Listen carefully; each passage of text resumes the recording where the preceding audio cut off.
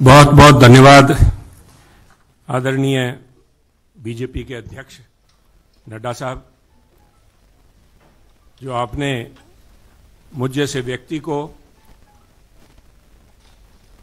माननीय प्रधानमंत्री नरेंद्र मोदी जी, माननीय देश के गृह मंत्री अमित शाह जी, उनके साथ उनकी सहमति से मुझ जैसे व्यक्ति को आज अपनी पार्टी में शामिल होने का ये मौका दिया। मैं आभारी हूँ मंच पे जो मौजूद हमारे प्रभारी अनिल बालूनी जी हैं,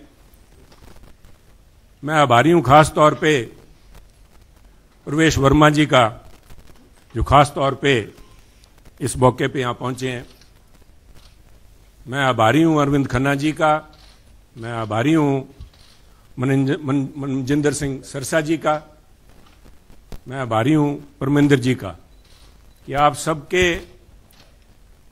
सहयोग से आज इस बीजेपी के मंच पे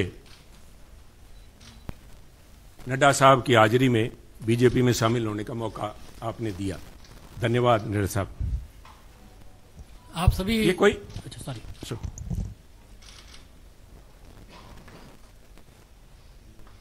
कोई आसान काम नहीं होता। पचास साल का संबंध मेरा कांग्रेस से है। हमारी तीन पीढ़ियाँ कांग्रेस पार्टी में सन 1972 से लेकर आज 2022 तक हमने पार्टी को अपना परिवार समझ के अच्छे बुरे समय में साथ रहे हैं। और एक चीज़ जो मैं समझता हूँ जिसकी वजह से जिस आत्मीयता से और जिस खुले दिल से बीजेपी के शीर्ष नेतृत्व ने और नड्डा साहब ने आज मिलने का मौका दिया, उसका सबसे बड़ा कारण था कि सुनील जाखड़ ने राजनीति को निजी स्वार्थ के लिए इस्तेमाल नहीं किया। सुनील जाखड़ ने कभी तोड़ने का काम नहीं किया, हमने सभी हमेशा कोशिश की है, शायद सफलता ना मिली हो, जोड़ने का काम किया है।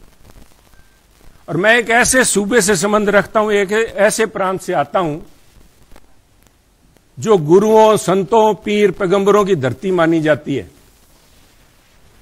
अगर राष्ट्रीयता की बात, जैसे नड्डा साहब ने बार बार जिस बात को इंफेसाइज किया है आज अगर जहाँ देश की ज़रूरत राष्ट्रीयता की भावना की है, वहाँ अगर राष्ट्रीयता कहीं से चालू होती है, जिसे कहते हैं ऊर्सप्रुंग द बेसिक जेनेसिस राष्ट्रीयता, वो तभी पैदा होती है जब समाज में राष्ट्रीयता की भावना हो, एकजुटता की भावना हो। और पंजाब का मूल मंत्र ये रहा गुरु साहब ने, गुरु नानक देव जी ने सर्व सांझी वालता की बात कब की थी? आज भी उस पर पहरा देने के लिए पंजाबी उसी तरह तत्पर खड़े हैं। अगर सुनील जाखड़ ने आज एक परिवार से 50 साल का रिश्ता तोड़ने की नौबत आई तो कोई आधारभूत बातें थी। किसी कोई व्यक्तिगत झगड़ा नहीं था। झगड़ा राष्ट्रीयता को लेके, पंजाब की अखंडता को लेके, पंजाब की जो भाईचारा है, भाईचारक साँझ है, जिसको कि टेररिज्म ए के फोर सेवन की गोलियाँ नहीं तोड़ पाई।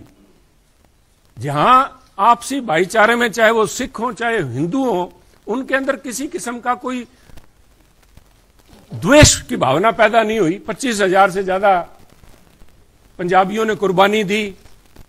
पर आप भी गवाह हैं, साहब, पड़ोसी दे, आपका तो पड़ोसी सूबा है। आप तो जब हिमाचल से चलते हैं, पंजाब के बीच में से होके जाते हैं, कभी भी कोई फ़र्क नहीं आया।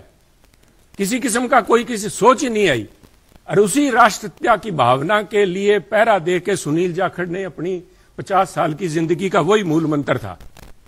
परंतु दुख इस बात का है, मैं बड़े बड़े मन से कह रहा हूँ कि आज जब अपने परिवार से नाता तोड़ के दूसरी जगह जब मैं आया हूँ यहाँ पे तो उसका कारण यह था कि सुनील की आवाज़ सुनील को इस बात के लिए कटघरे में खड़ा किया गया कि उसने इस बात का विरोध किया कि आप पंजाब को जाति, पाति, धर्म के नाम पे नहीं तोड़ सकते। पंजाब को आप परसेंटेज में नहीं दे सकते कि ये अमुक जो धर्म है, अमुक जाति है, अमुक समुदाय है, उसकी परसेंटेज कितनी है? तीस परसेंट है, चालीस परसेंट है, पंद्रह परसेंट है। मैं समझता हूँ, पंजाब एक सूबा है जिसने देश के लिए template has established a template for the country every single citizen has the same right as anybody else सबको बराबरी का there is no second class citizen in Punjab और इस भावना को लेके पंजाब अग्रणी सूबा रहा है, चाहे वो हमने देश की सीमाओं पे लड़ाई लड़ी है, चाहे देश के विकास में, हर सूबे प्रांत में पंजाब ने अपना नाम कमाया है। कुछ लोग बात करेंगे, क्योंकि हुआ क्या? कोई एक व्यक्ति की बात नहीं है कि एक व्यक्ति ने बोल दिया और संबंध टूट गया। वो कहना कच्ची यारी है नहीं सन इस तरह नहीं टूटा करती। ये कोई शीशा नहीं है जो पचास साल का संबंध है। कहते हैं, कोई शीशा नहीं है कि पहले हम इंसान हैं, हमने रिश्तों को निभाया असूलों की तरह। पर जब असूल ही टूट जाए, जब हम अपने सिद्धांत से हट जाएँ, अपनी आइडियोलॉजी से हट जाएँ तो मैं समझता हूँ this is a right time to have a rethink उसको सारा सोचना पड़ता है कि हम जा किस तरफ़ रहे हैं। आज किस तरफ़ बढ़े जा रहे हैं तो उसको लेके मैं समझता हूँ कि निर्णय लिया गया और क्यों निर्णय लिया गया बीजेपी के पास। मैं क्यों बीजेपी के, आपके यहाँ आज मंच पे बैठा हूँ? सब तरह तरह की अटकलें लगाई जा रही थी सुनील को लेके, कयास लगाए जा रहे थे, क्यों बड़ा स्वाभाविक था। जिस दिन से नड्डा साहब, आपने देखा कि मैंने गुड बाय बोला मेरी तरफ़ से तो गुड बाय ग्यारह तारीख को जिस दिन मैंने देख लिया कि आवाज़ के ऊपर पाबंदी लगाने के लिए नोटिस जारी किए जा रहे हैं तो आवाज़ नहीं रोकी जा सकती। सुनील को आप पद से हटा सकते हो, किसी से दूर कर सकते हो। सुनील की आवाज़ गिरवी नहीं रखी जा सकती। आवाज़ राष्ट्रीयता के लिए उठेगी। परंतु क्या कारण बने? न साहब, मैं आज कुछ बातें आपसे शेयर आपके पास, अगर मुझे पता आपको जयपुर भी जाना है, पर दो मिनट में लूँगा आपके कीमती समय के। पार्लियामेंट के अलावा मुझे डेढ़ साल पार्लियामेंट में काम करने का मौका मिला, सरसा जी।